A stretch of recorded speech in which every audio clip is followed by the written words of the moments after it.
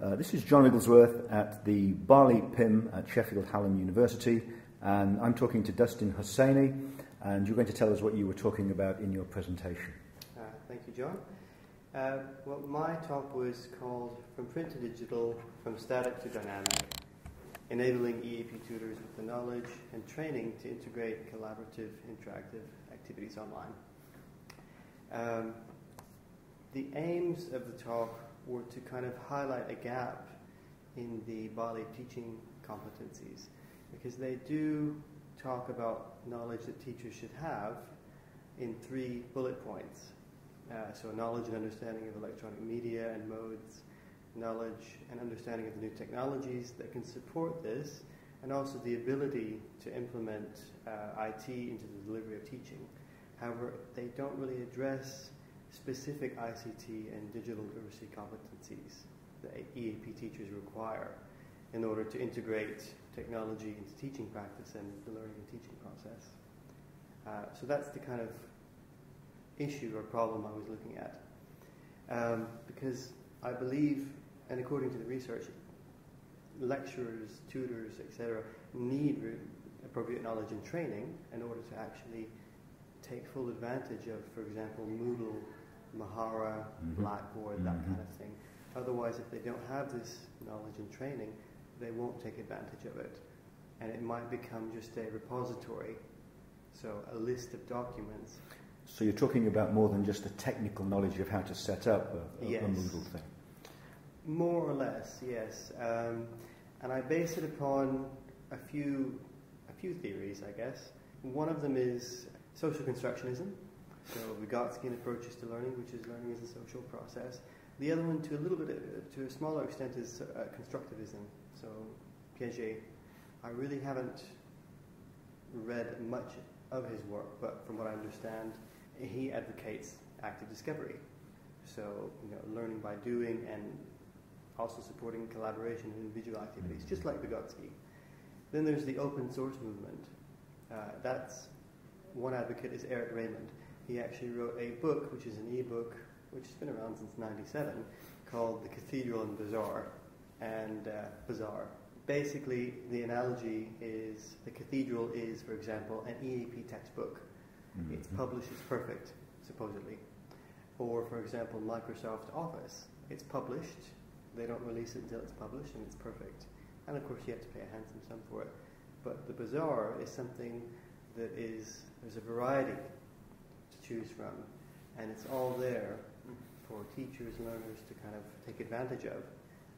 I would argue that part of this is uh, EAP course materials that are authored in-house. Mm-hmm. Not simply copied and pasted from a book, but a teacher actually sitting down writing an activity that synthesizes other sources in an original way. Uh, or Moodle, or Google Docs, Google Drive. Again, it's more open, it's less restricted, or even Open Office. But again, staff aren't usually trained up on these technologies. Uh, or the example of Moodle, well, it is, for example, a uh, technology representative of the bazaar, universities try and make it into a cathedral. So it's wonderful, it's perfect, but it's not. It ends up breaking it because it's meant to be free and open as opposed to highly ordered and structured. Top down, in other words. So, how, how do universities work to to constrain something like Moodle? Well, for example, they might externally host it. Mm-hmm. And what happens is the host, which is happening across higher education in the UK, you know, there's lots of external partners. Mm-hmm. The uh, neoliberalism approach. Mm-hmm. Uh, what happens is a host might say, okay, here's your Moodle package, there you go, thank you very much for that money. But then we might come back to the university and say, okay, can we have this, this, and this, these plugins okay, these additional bits. And let's say, okay, that's a thousand pounds a pop. So then this, it's broken because now we can't use these potentially great tools because we have to pay more money for them, which in the first place was supposed to be free. Mm. So they're restricting access. Yes, yes. Now, how does it translate practically for teachers? Well, first of all, they do need training. And I would suggest, just based upon an informal survey of 20 teachers out of 40, you need at least two plus hours per tool. And probably the best way. One of them is to sit them down in a lab and lead them through certain things, but also having them play Mm-hmm. and having follow up sessions and also having pre um, course sessions at least once. But according to what I found out, they also would like bite sized sessions, you know, 20 minutes, Mhm. because pre sessional courses and foundation courses are very busy, dynamic places. There's so much going on, teachers have to do a lot. Um, okay. Yeah. Okay. Uh, as far as potential solutions, in my talk, I gave teachers a, a kind of choice because some of the potential solutions that I suggested were um, they fall under two kind of realms, and it's a Venn diagram, if you will, like open and extended learning. And as far as that, it's social media and networking for learning and teaching, and also virtual peer-assisted learning. Uh, within the Venn diagram, the other part of it is uh, tutor-guided learning. Mhm. That would be like empowering students with Turnitin, because you do need that tutor input. In the middle, so between both of them, is collaborative tools, flipped classroom resources, uh, synchronous or asynchronous quiz tools, such as the quiz tool in Moodle, or for example, uh, Socrative. Uh, engaging forum discussions in e-portfolios. We touched on some of these. Um, we discussed, as far as collaborative tools, Google Docs, Google Drive. You can have a classroom, you know, divided into groups, so a classroom of 16 divided into groups of four. They all work in one document towards a common goal, whatever that may be. Mhm. Uh, you know, writing up parts of an essay, defining vo- vocabulary, exploiting it, whatever you wish. Um, taking notes. It, it just depends on the teacher. Flipped classroom approaches, um, screencasting, so creating a video, or instead of reinventing the wheel, going on YouTube, looking for videos which might illustrate concisely, succinctly, for example, paraphrasing, summarization, quoting, or um, how to use in? setting it for homework.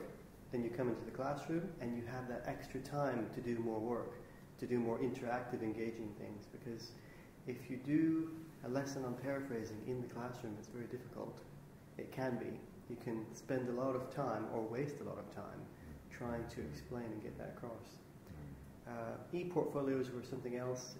Uh, this is kind of a new area, especially with the AP, in terms of the AP. Um, it involves tracking students' learning by evidencing, by having them evidence their own learning. So, for example, a weekly learning journal, Mm. or at Bath they did the reading logs. That could all go into an e-portfolio, which the tutor could then comment upon either verbally or through text directly onto the portfolio. Um, also, weekly speaking videos around a, central, uh, a centrally set topic or classroom set topic, which practices their speaking skills. You know, two or three minutes each week per student, not too much. And the final part of that, I might suggest, is uh, having them put their writing up there. So first drafts and redrafts of those drafts, so that it evidences a kind of slowly progressing um, progression of learning. So, uh, where should uh, a BALEAP member go if they want to find out more about, about this? Um, well, JISC publishes a lot of information about how to integrate and exploit learning technologies. Um, one of their projects at the moment is called JISC Digital Student.